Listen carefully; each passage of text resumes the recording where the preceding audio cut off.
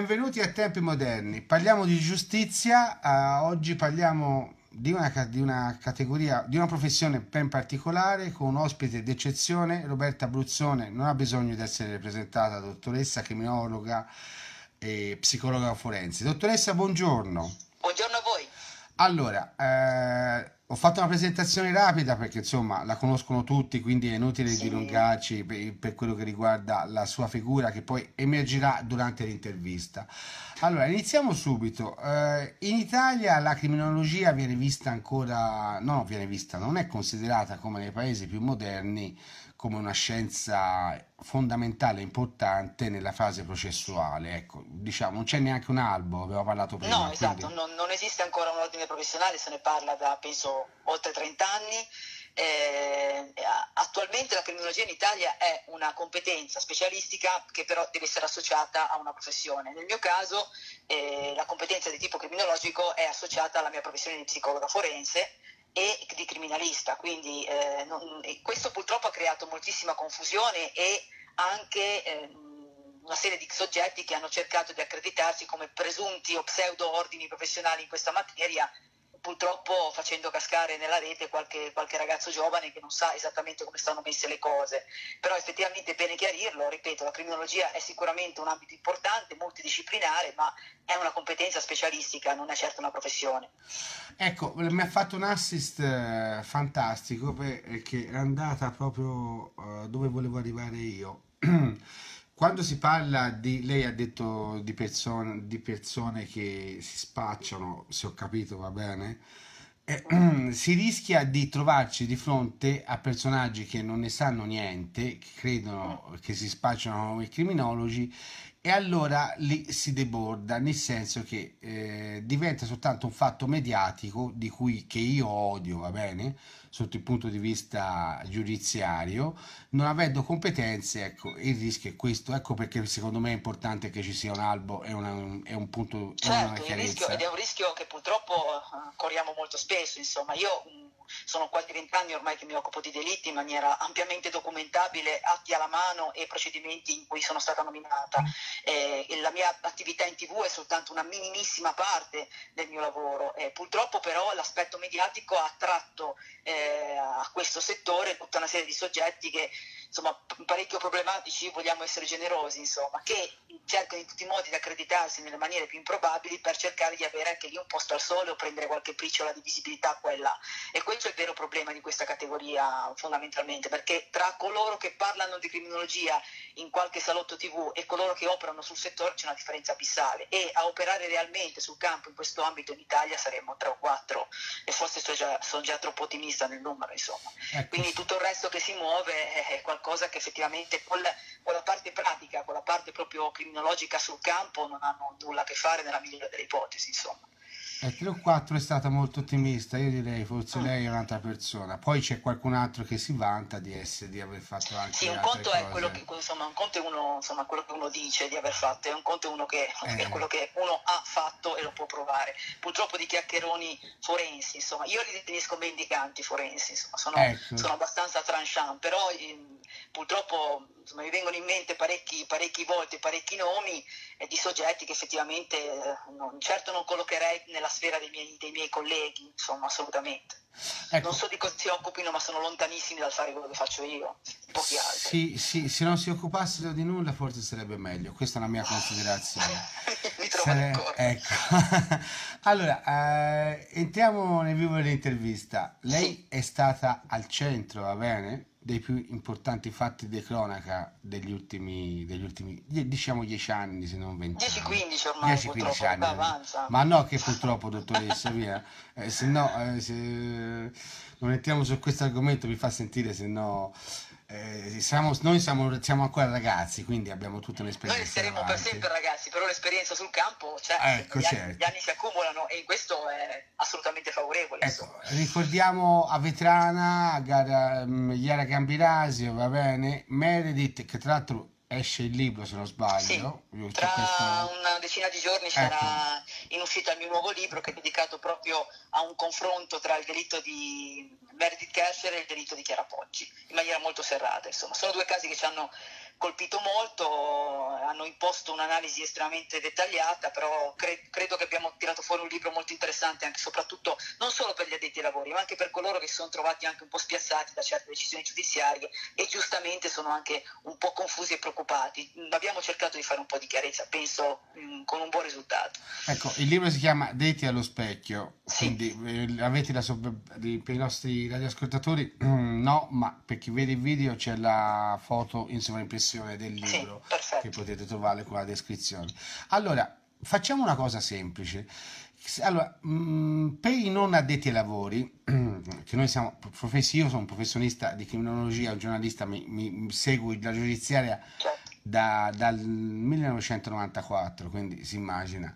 Ecco, però facciamo un, um, parliamo per proprio chi non sa che cosa fa lei? Ecco, ci spieghi che cosa fa lei in, proprio sotto il punto di vista professionale, perché poi dopodiché arrivo all'aspetto mediatico che voglio, certo. che mi interessa. Io sono psicologa iscritta all'Albo dei Psicologi della Liguria e mi occupo eh, principalmente ormai da una decina d'anni di omicidi, quindi ho associato alla mia competenza di era psicologica eh, anche tutta una serie di competenze più legate alle scienze forensi e alla criminalistica applicata. Quindi mi occupo dal sopralluogo tecnico alla, sulla scena del crimine, alla ricostruzione di ciò che è accaduto sulla scena, quella che si chiama in gergo criminodinamica, alle valutazioni relativamente chiaramente ai profili di personalità e alla, alla, sfera motivazionale che è alla base di un delitto, eh, fino ad arrivare chiaramente a una, una, ricostruzione complessiva di tutti gli elementi che sono stati generati dall'inchiesta. Quindi è un ruolo estremamente complesso, un po' di coordinamento tra tutte le varie discipline, tra tutte le varie informazioni che vengono raccolte in un'inchiesta fondamentalmente. Io quando vado in corte d'assise prevalentemente è lì che opero perché trattando gli omicidi eh, di solito insomma, eh, vengo sentita proprio in corte d'assise. il mio compito no- normalmente sia per quanto riguarda l'attività per la procura, sia per quanto riguarda l'attività per la parte, prevalentemente per, la, insomma, per i familiari della vittima, e mi occupo proprio di ricostruire tutta la vicenda. Eh, quindi offro proprio una, un quadro di lettura eh, complessivo di tutti gli elementi raccolti che offra chiaramente alla Corte d'Assise la possibilità di orientarsi tra, eh, tra le varie ipotesi che vengono formulate. Insomma. Lei è stata al centro dei delitti di cronaca più eclatanti degli ultimi 15 anni, perché sì. si va Roberto da Ragusa, va bene, quindi via dicendo. Ecco, adesso entriamo nel merito di qualcuno di questi, perché... Sì. Eh, però prima di entrare nel merito faccio una valutazione. Allora, io odio, come ho detto, la giustizia, eh, lo show la televisione del dolore va bene via dicendo e purtroppo ci troviamo spesso di fronte a queste vicende. È una spettacolarizzazione perché non c'è mai un approfondimento. Non riguarda lei questo, qui, questo lo voglio dire, perché però ci sono troppe persone che parlano a caso senza aver letto processi e purtroppo se avendo seguito tutti i processi di cronaca, soprattutto di mafia, va bene, e poi dopodiché alla fine ci siamo trovati in mezzo a queste, a queste storie. Lei ha preso posizione e non la pensiamo nello stesso modo su un paio di casi e adesso ci entriamo subito. Allora, eh, sulla vicenda Gambirasio, va bene? Mm. Dopo la, la, sentenza d'appello, mi corregga, eh, lei ha scritto giustizia è stata fatta, va bene? Sì, l'avevo già, l'avevo già scritto anche dopo la prima sì, sentenza. Sì, sì, sì, ma io ho preso l'ultima sentenza perché sì, era sì. quella più recente, va bene? Allora, giusto per coerenza. Per coerenza, ma certo, ma ci mancherebbe altro. Io, uh, onestà intellettuale vuole che io mh, mm, ho qualche dubbio Beh, vediamo di fugarglielo oggi. Allora. Ecco, mi, mi, convinca. Lo sa perché ho qualche dubbio? Perché ho qualche dubbio in merito al non al ritrovamento del cadavere, va bene, ma al, alle rilevazioni scientifiche che sono state effettuate dopo il ritrovamento del cadavere di Chiara Gambirasio. Di Chiara Gambirasio che, nello specifico perché parlare di rilevazione scientifica le spiego, le spiego, che co- le spiego, le spiego in che modo va bene? Perché il cadavere della piccola va bene è stato molto è stato mesi le, nei, tre mesi esatti. Tre mesi esatti d'accordo? Poi dopodiché la procura disequestrò la notte il, il campo e il pomeriggio fu risequestrato nuovamente. Sì dopo che vi fu un inquinamento inevitabile perché ci arrivarono centinaia di persone sul posto. Allora, già questo mi crea qualche piccolo... Beh, ma mm, il grosso delle tracce comunque che sono state impiegate in questa vicenda sono state repertate direttamente sul corpo della vittima, quindi problemi di contaminazione francamente non eh, rilevanti non, non, ce ne sono mai stati. Ecco, la traccia di Ignoto 1 eh, sulle, sulle mutandine e sui leggings della, della piccola vittima eh, sono, sono, comunque assolutamente scevre da problematiche di sorta. E se vuole entriamo nel merito proprio del perché. Ma non certo, ce ne su, questa, su questo profilo genetico insomma. E non ce ne sarà mai ecco perché la perizia non serviva e giustamente non è stata concessa insomma. Quindi se vuole entro proprio nello specifico punto per punto è un pochino complessa la no, se no rischiamo... più il più rapida possibile, ma ci sono almeno 5 punti che sono dirimenti. E cioè, allora li dica, veramente... perlomeno tanto allora, in, primo luogo, in primo luogo abbiamo a che fare con la presenza di una quantità comunque piuttosto rilevante, almeno sotto profilo forense, su, su due reperti, che sono sia sulle mutandine che sui leggings.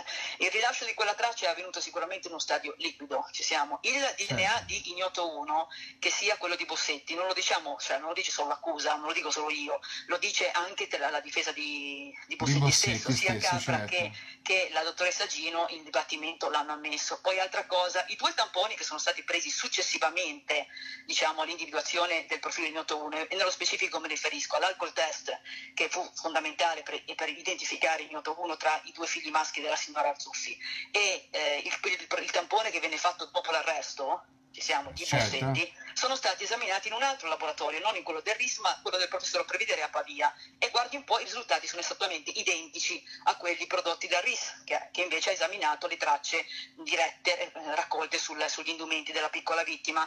Il DNA di, del signor Bossetti non è mai entrato nei laboratori del RIS. Il signor Bossetti non aveva precedenti penali di alcun tipo, ci siamo. Quindi certo. l'ipotesi di una contaminazione è impossibile ok? Non c'è possibilità. Questo soggetto è stato individuato tre anni dopo rispetto alla, alla, diciamo, all'individuazione della traccia sugli indumenti. Da, ne parliamo, la traccia di Ignoto 1 è stata individuata nel marzo 2011 RIS, nei laboratori del RIS di Parma. L'individuazione di Ignoto 1 e la sua riconducibilità nel signor Bossetti arriva dopo tre anni ci siamo, perché certo. lui viene individuato e arrestato nel giugno del 2014, d'accordo? Consideri che ci sono state poi plurime eh, valutazioni, plurimi eh, prelievi su quella medesima traccia fatte a distanza di mesi e tutte hanno dato il medesimo risultato.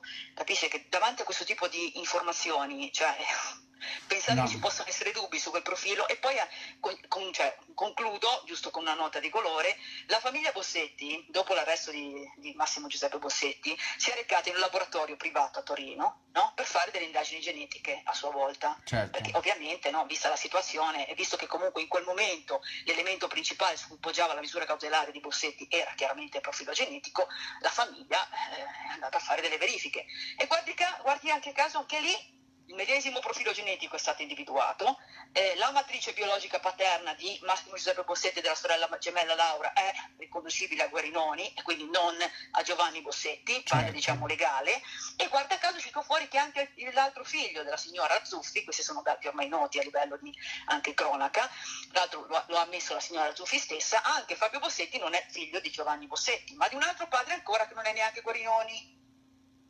ok? Certo, sì. Ora, davanti a tutto questo e davanti alla difesa stessa che dice indiscutibilmente il profilo di Gnotto 1 è assolutamente identico a quello di Massimo Giuseppe Bossetti ed è l'unico profilo in questo universo conosciuto che può avere quelle caratteristiche, che, quali, che, che, discorso, che cosa serviva una perizia quando abbiamo già una serie di riscontri collaterali che mai abbiamo avuto nella storia della, dell'investigazione, ma forse nemmeno internazionale. Beh. Perché perizia serviva per pazienza. Per cosa? Per sapere quello che sapevamo già, che quel, che quel profilo è il suo. Quindi quindi per la prima volta durante un'intervista ho preso un colpo, un knockdown eh, dopo 20 anni. Perché eh, lo so, ma quando uno si scontra con me questa possibilità la deve mettere in conto. Sì, sì, no, ma io l'ho messa in conto, eh, lo, sapevo, eh, lo sapevo che l'avevo messa in conto, eh, ma infatti eh, ha visto come mi sono approcciato, ma abbiamo parlato. Dati, sono dei dati molto, molto no, semplici no, no, ma... che sono emersi, non è che io sono detentrice della verità assoluta, ma però io metto in fila dati oggettivi, cioè ma... più di così cosa serviva? Io se, non faccio, io se non faccio l'avvocato l'avvocato del diavolo, però non solo fa l'avvocato del diavolo, mi ha anche convinto e quindi dico 1-0 per lei, complimenti perché eh, è, stata, è, stata, chiarissima. Allora, un'altra vicenda che eh, vale la pena poi dopodiché parliamo della vicenda del libro, così spieghiamo anche il libro Sì, perché è importante, perfetto, va bene? va bene. Eh, è a Vetrana, d'accordo? Mm. Ehm, su a Vetrana, ehm, io sono sincero, ho studiato gli atti, va bene? Gli atti processuali e è una vicenda molto complessa. Certo. È una vicenda molto complessa che non si può semplificare come hanno cercato di semplificare i media, va bene? E Ah, certo. quindi io credo che questa vicenda forse ancora non sarà, non sarà completamente finita, potrebbe anche riesserci. No, guardi, glielo dico sinceramente anche qui, insomma, vicenda di cui mi sono occupata direttamente, quindi che conosco proprio nei, nei minimi dettagli. No, no, non La vicenda vetrana no, è già mi- conclusa no, ampiamente. no, mi, mi scusi, no, no, no, no, no, no, volevo dire questo, no, aspetti. Sotto il punto di vista giudiziario è finita, secondo me è finita in un modo chiaro e nitido, non ho dubbi su questo, perché se no mi fa il secondo gol lei, quindi metteremo avanti subito. Eh, no, no, eh, no. Sotto il punto di vista mediatico, dico, se ne continuerà a parlare, vedrà ancora, ritorner- ritorneranno fuori queste cose, perché, in Italia siamo bravi a vivere di dietrologie, anche di Eh, fronte sì. alle cose più Il chiare. Il complottismo esasperato, siamo la patria, quindi ecco, quindi ecco, anche su quella vicenda verrà fuori. No, diciamo, sentenza passata in giudicato e sentenza motivazioni tombali, cioè voglio- Eh, su quella cosa, ecco, voglio dire, nonostante che, diciamo, ci fosse il professor Coppi, che non è l'ultimo, l'ultimo avvocato eh, che difendeva eh, Ma l'imputato. massimo rispetto per, il- per l'avvocato Coppi, nessuno mette in dubbio la sua professionalità, capita a tutti di prendere delle cantonate. Assolutamente, questo assolutamente. Ecco, eh, in merito a quella vicenda, che cosa è la cosa che l'ha colpita di più? La capacità di, di mentire di una serie di soggetti apparentemente molto semplici come organizzazione psichica, ma che invece si sono rivelati pervicaci nel- e anche piuttosto abili, furbeschi, vorrei forse definire la cosa, è corretto il termine furbesco, nel cercare di inquinare tutto quello che era inquinabile fondamentalmente. Mi, mi ha molto colpito la, la tenuta psichica, cioè psicologica di Sabrina Misseri, ma non tanto e solo durante insomma, l'indagine del processo, nei 42 giorni, 44 giorni di, di scomparsa della- di Sara, perché credo che quella sia la fase più interessante di questa vicenda, al di Certo. quello che poi ne diciamo, disceso sotto il profilo mediatico e quant'altro. L'aspetto più interessante è legato proprio a, quella- a quel periodo, all'attesa in qualche modo, no? In il periodo in cui tutti ancora andavano cercando Sara Scassi in giro. E devo dire che mh, la chiave di volta di questa vicenda è proprio in, quella- in quel periodo, in quell'intervallo temporale in cui effettivamente se uno rivede col senno di poi le interviste rilasciate da Sabrina Misseri dall'inizio, proprio dal primo giorno della scomparsa fino praticamente a poco prima dell'arresto che avvenne il 15 ottobre del 2010, eh, effettivamente alla luce di tutto quello che poi ne è disceso è tutto molto più chiaro, però effettivamente mi, mi sorprese la tenuta psicologica di questa ragazza. Insomma. Ecco, eh, sì, sì, anche sorprese, anche perché eh, ci fu una serie di eventi, di colpi di, di- di Eh, scena. Tranne una vicenda unica nel suo genere, io credo che nemmeno il più estremo e, e fantasioso degli sceneggiatori avrebbe saputo prevedere tutta la serie di colpi di scena che questa vicenda ha inanellato uno dietro l'altro, cioè, insomma, è una vicenda che, ripeto, ha guadagnato un'attenzione mediatica spasmodica, ma effettivamente aveva un ritmo narrativo naturale straordinario. Beh, se, se Misseri non fa ritrovare il cellulare con l'incendio, No, guardi, se- eravamo ancora a cercare Sara Scaccia. Eravamo ancora a cercare dove, l'aveva, dove l'aveva nascosta lui era impossibile ritrovarla. infatti. Neanche se avessimo avuto il cane molecolare di Superman l'avremmo No, no, trovato. E adesso passi- parla di Superman, che aggancio andiamo in America e quindi parliamo di Meredith e del nuovo Mm. libro che è in uscita il 31 agosto, vedo, va bene? Sì. È distribuito Forse da- qualche giorno prima qualche stiamo giorno facendo prima. il possibile. Eh. Ok, distribuito da Rizzoli, Delitto allo specchio. Ecco, eh, parliamo del caso Meredith, va bene? Eh, su questa vicenda ci sono state quattro sentenze, se non sbaglio, perché la Cassazione annulla, conda- allora, Cinque. condanna, cinque, condanna in primo grado, assoluzione in appello, Secondo, annu- annullamento con annullamento con rinvio, condanna. condanna e poi annullamento definitivo, Sì. va bene? Queste sono state le sentenze. Ah, Sì. durante il primo annullamento la, ehm, la ragazza americana, penso bene, giustamente, di rientrare negli No, Stati non Uniti. che la rivedremo mai più. Non la rivedremo mai più, infatti. non quindi venga mai so- più in Italia. ci siamo tolti il dubbio quindi su questa Sì. cosa. Allora, Parliamo di quella vicenda. Per quella vicenda c'è già un colpevole, però eh, è vero è passato in Cassazione, però eh, la condanna è, non è per omicidi, cioè eh, si parla di Sì, un sì, no, no, concorso, c'è un- condannato in via definitiva per, omic- per concorso in per omicidio concorso in omicidio, quindi eh, mancano però eh, chi ha concorso con lui. Il problema è questo, perché eh, Eh, stando a quello che dice la Cassazione nell'ultimo pronunciamento che ha riguardato Sollecito e la Nox, eh, non, non vi sono prove che riconducano loro due al delitto, anche se la Cassazione, ricordiamolo, e nel libro su questo aspetto insistiamo parecchio, colloca sicuramente Amanda sulla scena sì, eh? su, questo e sì. in maniera assai probabile anche Raffaele. Questo lo dicono i giudici di- della Suprema Corte. Ora, nella migliore delle ipotesi, quindi abbiamo a che fare con due bugiardi, non con due assassini, ma con due persone che hanno pervicacemente sempre negato la loro presenza sulla scena.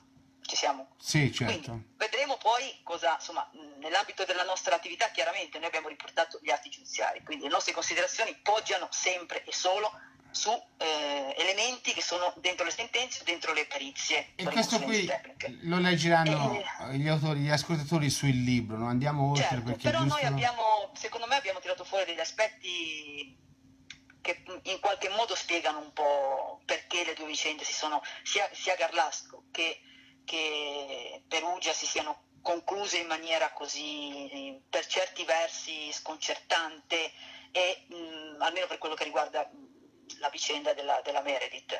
E, e- spieghiamo perché il, su Stasi non ci sono assolutamente dubbi, ci siamo, perché sono entrambe vicende che per aspetti diversi hanno suscitato grande interesse e grande anche inquietudine nell'opinione pubblica, ci siamo? Sì. Ecco, credo che abbiamo messo parecchi puntini sulle i per far comprendere a- a- insomma, eh, perché si è giunti a certi pronunciamenti giudiziari e probabilmente a spiegare un po' meglio come sono andate realmente le cose. insomma.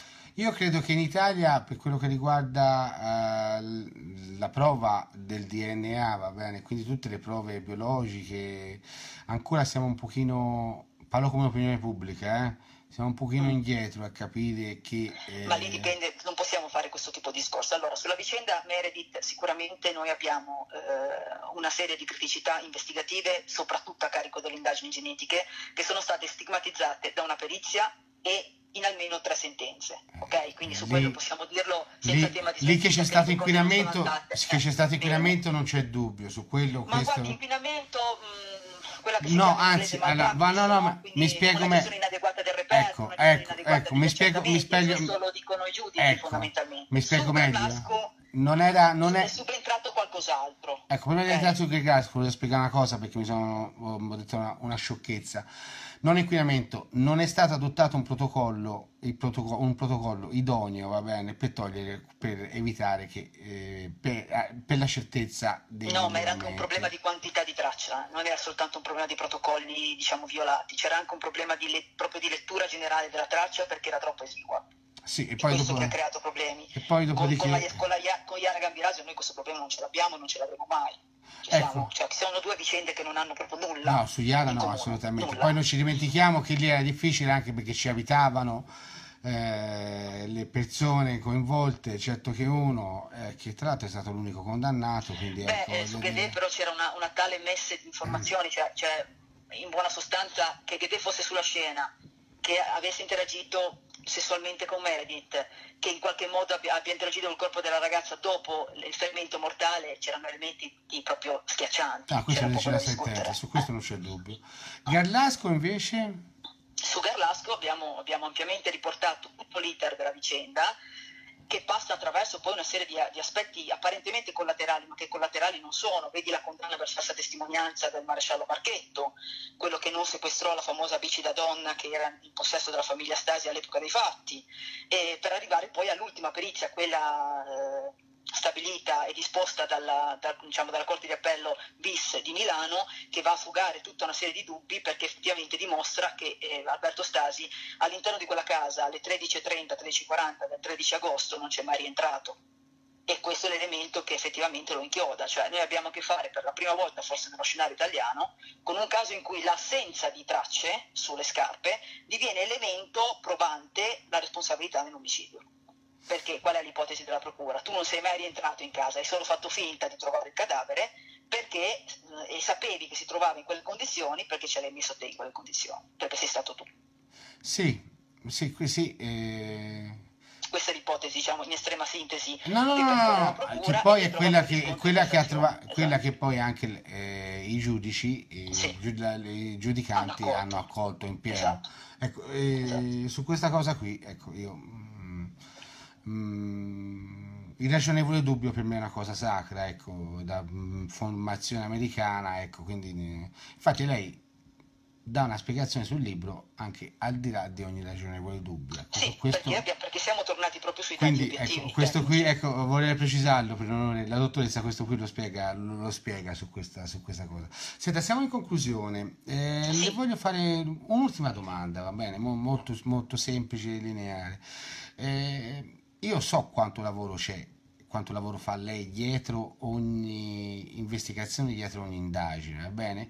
Qui rischio poi di essere tacciata come una, una donna de, che de, de, delle presenze, va bene, televisive e di una donna del dolore. Ecco, insomma, no, questo no, la dottoressa Abruzzone è una professionista che dedica tantissimo tempo al lavoro e questa professione va riconosciuta e soprattutto le volevo chiedere quanto diventa, quanto ci mette di personale quando fa un'indagine? Cioè come la vive a livello umano? Questo mm, non come professionista, perché sono stati tutti episodi, va bene?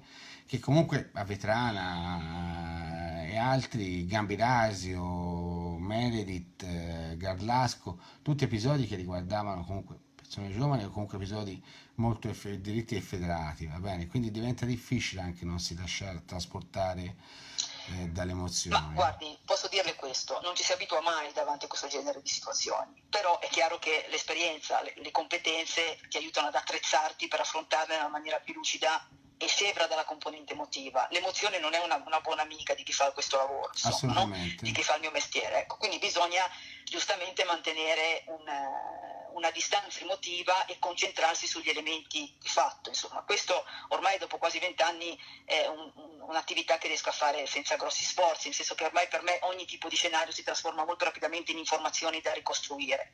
Quindi non per togliere l'aspetto emotivo, però non, eh, non, il servizio migliore alle vittime si fa rimanendo lucidi, concentrati e cercando di, di, ottenere informazioni spendibili in sede di dibattimento. Perché vede, un conto è pensare di aver capito come è successo qualcosa o in, qualche modo eh, avercelo chiaro, altro paio di maniche dimostrarlo in una giustizia.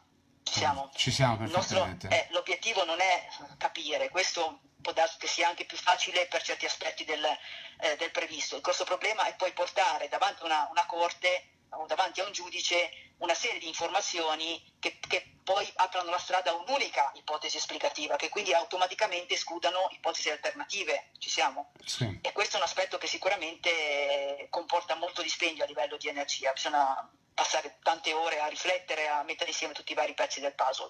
Farlo poi dopo, col senno di poi, insomma, è abbastanza semplice per tutti, ma noi arriviamo all'inizio della storia, quando ancora lo scenario è tutt'altro che, che definito. Poi mi, mi consente un'ultima ma certo, ma certo. valutazione.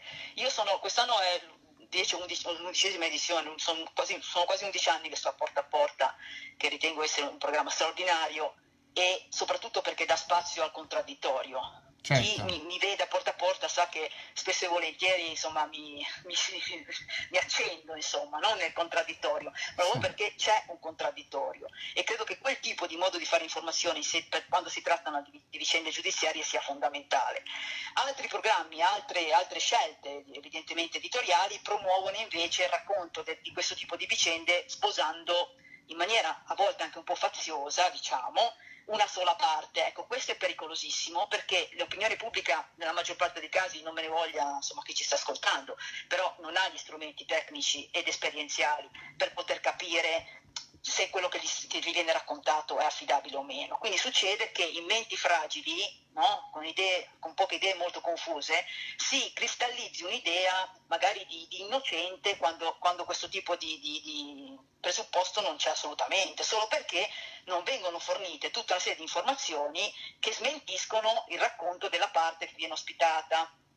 Sì, eh, è vero, allora, quel tipo di televisione io la ritengo molto pericolosa, ma non ritengo assolutamente di farne parte. Ci siamo. No, no, e poi concludo dicendo, insomma, parafrasando un noto adagio di Andreotti, mi pare fosse, eh, la TV logora chi non ci va. Assolutamente, ma eh, io infatti non contestavo porta a porta, io contestavo, contestavo un'altra trasmissione che è condotta... Sì, a cui io però non vado che lei non va, che, che, che non, credo che, sia una presa di posizione che non, è, che non è condotta da una collega, perché non No, è una giornalista, quindi questo voglio ribadirlo.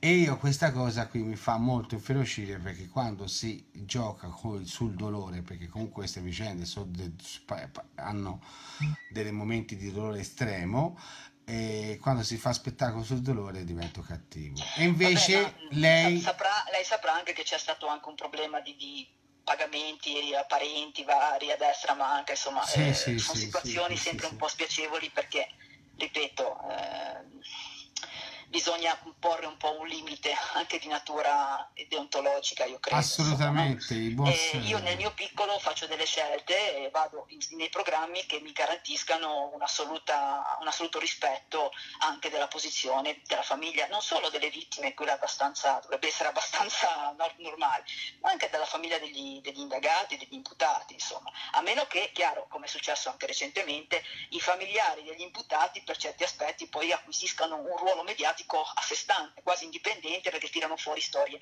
improbabili come la doppia inseminazione artificiale a sua insaputa della signora Zuffi. È chiaro che a quel punto se ti ci metti tu davanti alla telecamera e vuoi il riflettore, è chiaro che questo ha degli aspetti positivi ma anche negativi, insomma, no? Non c'è dubbio. Dottoressa, è stata chiarissima. eh, 1-0 per lei. Tanto la partita ce la rigiochiamo. Vabbè, ma le, ma le partite vanno avanti. Eh, beh, beh, poi, poi- tanti altri, tanti voglio altri dire, poi da. Fiorentino, da Fiorentino sa benissimo, insomma, voglio dire che non, eh, non mollo mai, quindi voglio dire, quindi questa è una partita aperta. No, è stato Sì. importante aver cristallizzato certe cose perché altrimenti si rischia sempre di generalizzare, di buttare, ecco, la dottoressa Bruzzone è una cosa diversa rispetto alla fabbrica del pianto che definisco io, eh, di alcuni professionisti che vanno alla fabbrica del pianto. Dottoressa, io la ringrazio, invito tutti a acquistare Diritti allo specchio perché ne vale la pena, perché Grazie. soprattutto la gente deve iniziare a capire che questa è una scienza, la criminologia è una scienza seria e arrivi fi- finalmente questo benedetto albo, perlomeno un po' di ciarlatani ce li leviamo dalle scatole. Va bene? Dottoressa, Benissimo. è stata, io spero, spero di essere stato corretto e di essere stato chiaro, lei lo è stata, la ringrazio dal Benissimo. profondo del cuore. A presto Grazie, dottoressa, arrivederci, arrivederci, arrivederci.